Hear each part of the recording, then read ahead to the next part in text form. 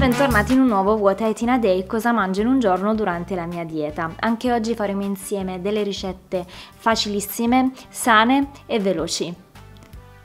Partiamo dalla colazione. Quest'oggi ho preparato uno smoothies con della frutta fresca eh, che è facilissima da fare e fa veramente bene. Allora all'interno di un mixer mettiamo una banana congelata, se volete potete anche mettere una banana normale non congelata, mezzo avocado, 40 g di spinaci freschi che fanno benissimo e 250 g di latte di mandorla non zuccherato potete sostituire con il latte vegetale che preferite o con latte normale.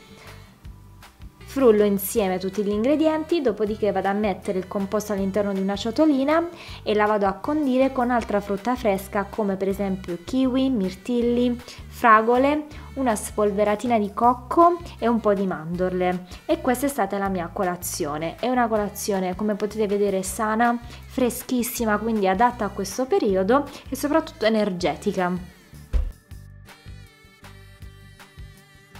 Per pranzo ecco il mio piatto unico. Andrò a cuocere questa pasta di piselli, cioè 100% farina di legumi, quindi è ottima anche per chi magari è intollerante al glutine e poi metterò a fianco del cavolfiore cotto al forno dei piselli. Parto dal cavolfiore, lo vado a cuocere, lo faccio raffreddare completamente, dopodiché vado a mettere all'interno del cavolfiore un cucchiaio di olio d'oliva che mi aiuterà a far attaccare bene il pangrattato quindi pan grattato qui va, vado molto a occhio insomma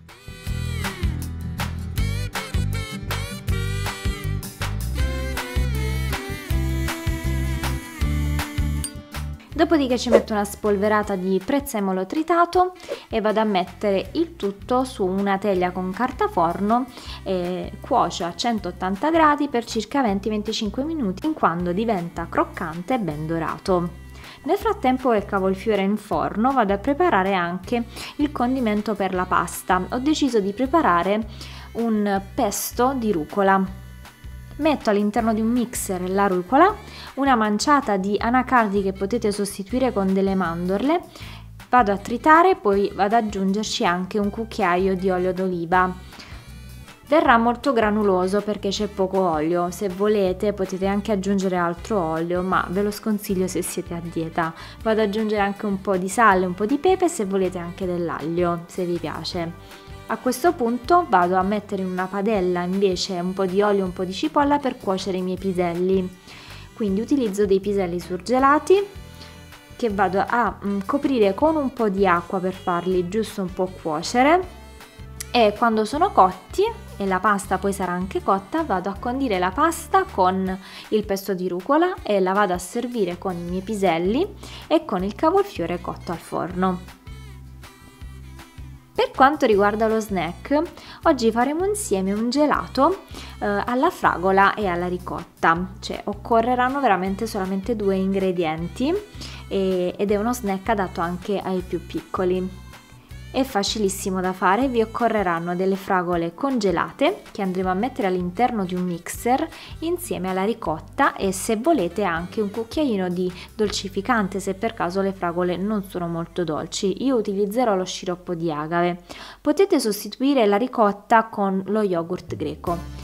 Frullate insieme tutti gli ingredienti, dopodiché mettete il composto all'interno di eh, contenitori da gelato, quindi da, all'interno delle formine e le lasciate all'interno del freezer almeno un paio di ore. Dopodiché potete anche condire gelati con un po' di cioccolato fondente o immergerle totalmente nel cioccolato fondente.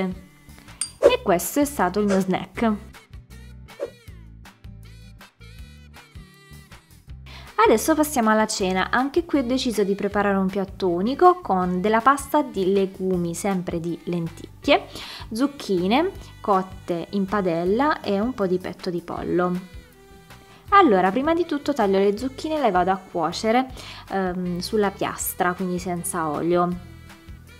Nel frattempo metto a cuocere anche la pasta, questa come vi dicevo è pasta di legumi, 100% legume e queste sono lenticchie nel frattempo che la pasta cuoce vado a cuocere in un'altra padella anche due fettine di petto di pollo.